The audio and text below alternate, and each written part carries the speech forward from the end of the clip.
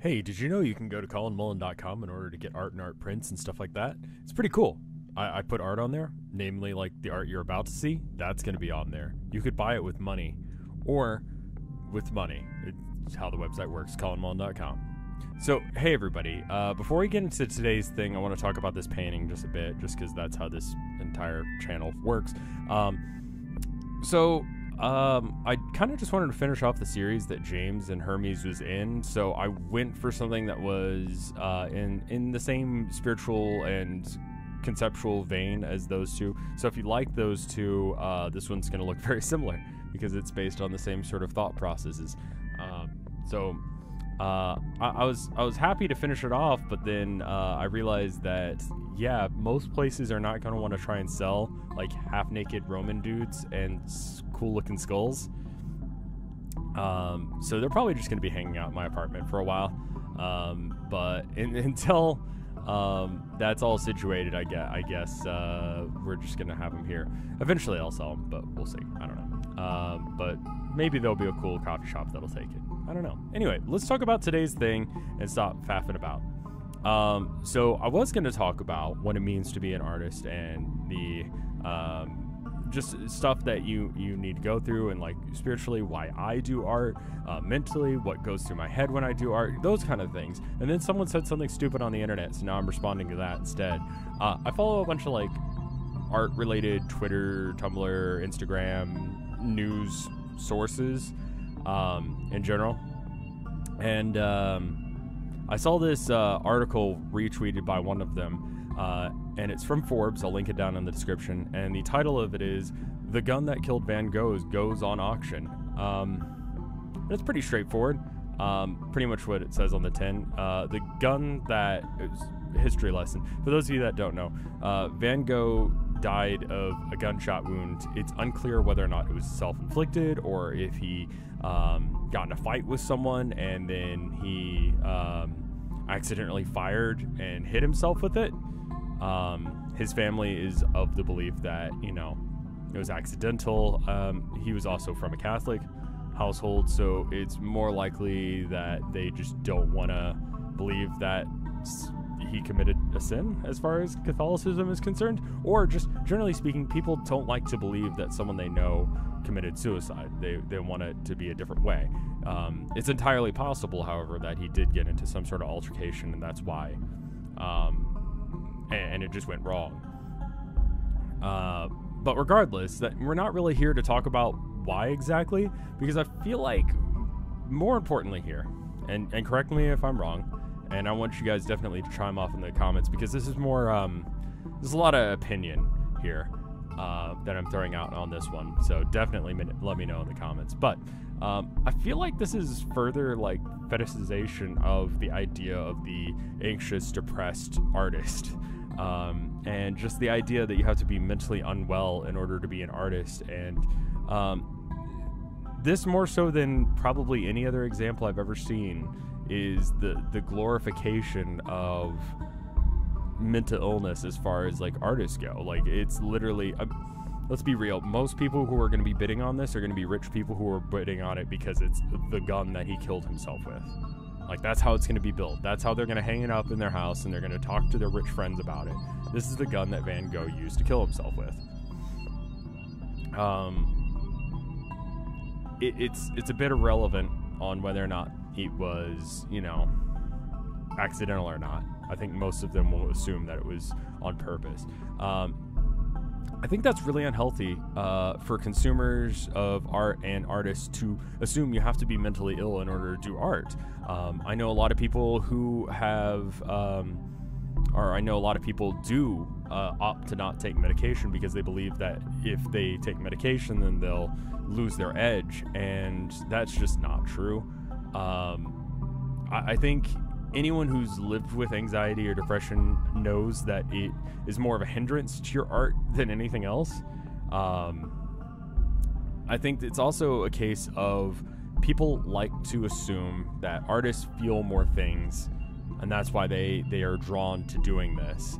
Um, but I, I, think it's really just that culturally, maybe throughout the world, at least as far as like America and, and you know stuff like that goes, we lost some of the vernacular, or maybe we've just never had the words for certain feelings and emotions. And so when we see something that rings true with us, when we see a piece of art or a, piece of music that connects with us in you know such a way that we feel like they felt something that we felt, we feel like that they must be more. Um, I don't know that there has to be something different about them when really it's just the acceptance of that.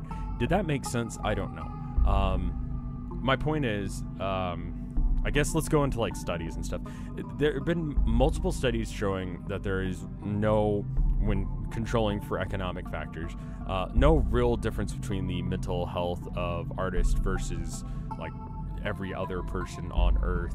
Um, it's really hard to define what exactly makes an artist different than anyone else in a lot of ways. But if we assume people who actually do it as a trade, um, and you take out the economic stuff, namely, if you aren't sure whether or not you're going to get to eat, um, that's bad for your mental health, generally speaking. You get more depressed if you don't know if you uh, have the capability of uh, paying rent it's just not good for you uh, mentally to constantly be in that state. And, you know, obviously the whole starving artist thing is a completely different issue we need to go over at some point, um, along with how much you should pay yourself.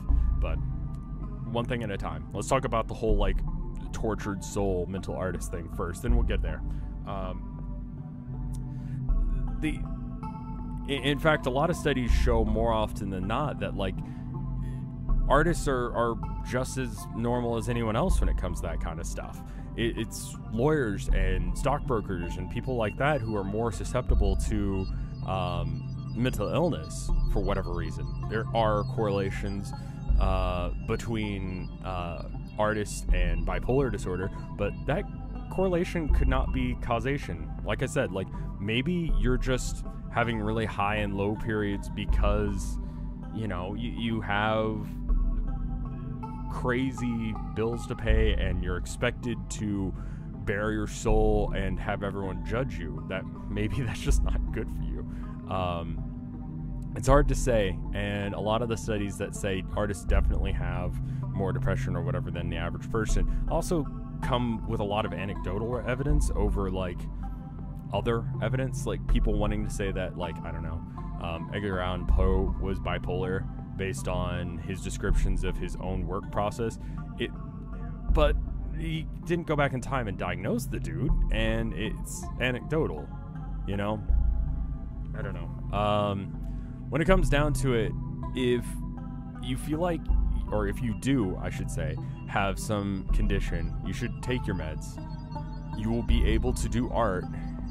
You remember those dark times you can make art about that still. You haven't forgotten, but you'll actually have the will to do so. And I think people that don't have those kind of conditions don't realize that that's how it works. That um, you just can't do art sometimes. I mean, for me personally, if I'm having a particularly bad time, just a, a really bad, depressive, anxiety ridden time, it's like, what's the point in trying to create? Like, why why and try and um, show people what what what's going on in my head and what's going on in my soul if I'm not special? You know, like, or not even that I'm not special, but just like that um, I, am not interesting or whatever. You know, the kind of things that a depressed voice would say to itself. Um, so it, when you start believing those lies that that demon tells you, you definitely do get into a state where you just don't want to create art. And there are, you know, cor- you can see correlations there that people who, you know, uh, have depression aren't doing art in the times that they're lodged to have depression. In fact, if you die due to your depression, you probably won't be doing art either. I don't know. Um, I'm getting a bit rambly, but um, tell me in the comments, um, like, I don't know how you want to try him off on this. I, I guess the question is like, what do you think about this whole situation with this this gun and this concept of that you have to be mentally tortured in order to be an artist? Like, do you feel like that that's true? And are you an artist yourself? Do you have depression? If you want to go into that, um, understandably, if you don't, um, like, and, let me know your reasoning behind what you're saying because I, I want to talk about this. I definitely feel very strongly in my opinions, but uh, let me go ahead and thank the people on Patreon who make this whole situation possible because I'm pretty sure, uh, because I said uh, like several bad words as far as YouTube is concerned, that this video has been demonetized. But hey, if you're Patreon on patreon.com, you're not only supporting me, but you're also getting a link for sure in the Patreon feed of, uh, you know, the videos when they come out. Um, so, anyway, um, let's thank the peoples. Uh, starting with Wapfu. Thank you, Wapfu. Um, thank you to my beautiful wife, Tilda. Thank you, Theodore Corbier. Thank you, Spencer Kane. Thank you, Plex. Thank you, Flenixia Theoran. Thank you, Oboist Kirby. Still an awesome name. Uh, thank you, Moodles. Thank you, Micah. Thank you, Maliciousness. Thank you, James at Games. Thank you, Geizazan. Thank you, Duxu. Thank you, Bubba Fair. Thank you, Andy. Thank you, Amber. And thank you, Adam Kearney. Um, th- those are the people who are at like at least the five dollar tier up. If you're interested in getting your names in the credits, uh, just just go to Patreon. It's it link is also in the description. Um, so here's me signing it, and here's me signing out. Um, hopefully you enjoyed this. If you did, let me know. If you didn't, let me know, and I'll see you guys in a couple weeks. Goodbye.